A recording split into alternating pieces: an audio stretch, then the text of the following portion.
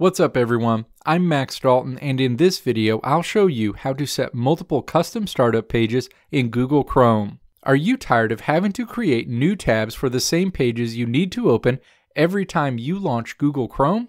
Thankfully, Google makes it easy to automatically open multiple pages every time you open Google Chrome.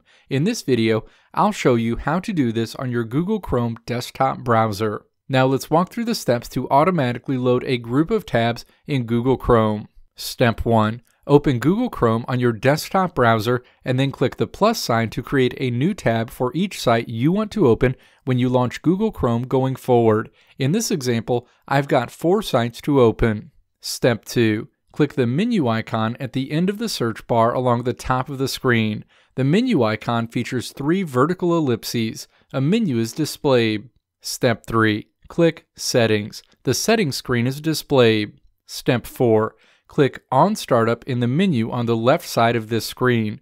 Options associated with starting up Google Chrome are shown on the right side of the screen. Step 5. Click to select the radio button next to open a specific page or set of pages, and then choose Use Current Pages beneath that option. A list showing the pages that will open when you launch Google Chrome going forward are shown.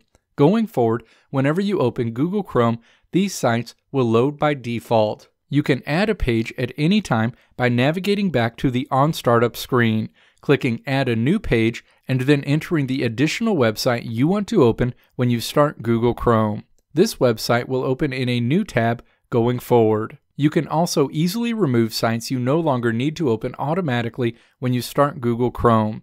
Simply navigate back to the On Startup screen, click the vertical ellipses next to the site you want to remove to open a menu, and then click Remove.